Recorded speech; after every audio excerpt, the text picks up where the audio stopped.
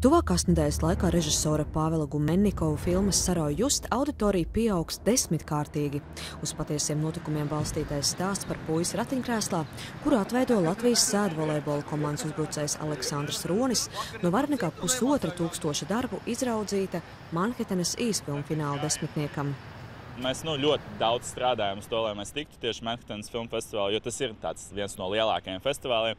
Nu, tā sajūta bija, ka, ka tā kā bērnam uh, salduma veikalā nu, no priekiem, ka nezinu, kur iet un nezinu, ko darīt. Jo jā, nu, tas ir, tas ir tāds uh, liels panākums jau iekļūt tur starp tām desmit labākajām filmām, jo nu, viņas redzēs vairāk kā simt tūkstoši cilvēku un īsfilmē tas ir ļoti liels numurs. Visas desmit filmas finālistes izrādīs vairāk nekā 250 pasaules pilsētās, sešos dažādos kontinentos. Festivālam šogad arī jubileja 20 gadi, un sešus no tiem tas norit arī Latvijā. To arī sauc par plašāko skatītāju festivālu īsfilmu festivālu pasaulē. Jo skatītājs atnāk, saņem anketu, viņš skatās, viņš vērtē, viņa apspriež. Un beigās atzīmē, kura filma viņuprāt ir labākā, un arī kurš aktieris vai aktrise no tur nominētajiem ir labākais. Festivālā Um, Pagājušajā gadā bija filma uh, Lāča stāsts, kur arī saņēma Oskaru. Tātad uh, filmas tiešām ir ļoti kvalitatīvas, ļoti labas, ļoti interesantas. Tās ir gan par sociālo tematiku, gan par mīlestību, gan reizēm ar šausmu elementiem vai mistikas elementiem.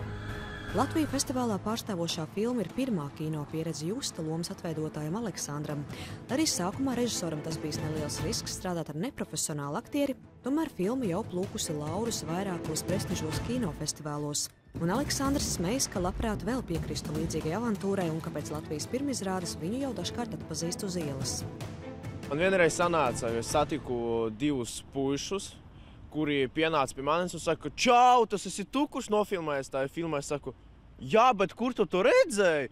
Un viņš saka, es biju tur Gātes institūtā, viņu noskatījos un saka, ka baigi superīga filma man patika. Filmas komanda solās būt klāt arī teju visos festivāla seansos Latvijā, tostarp arī noslēguma seansā kinoteātrī Splendid Palace. Turklāt Pāvels no drauga Amerikā uzzinājis, ka šodienas seans Ņujorkā bijis izpārdots, un bez tam šobrīd filmai pavēries ceļš arī uz Oskaru nomināciju. Zāne Brikmane, Pēters Barkevičs, Latvijas televīzija.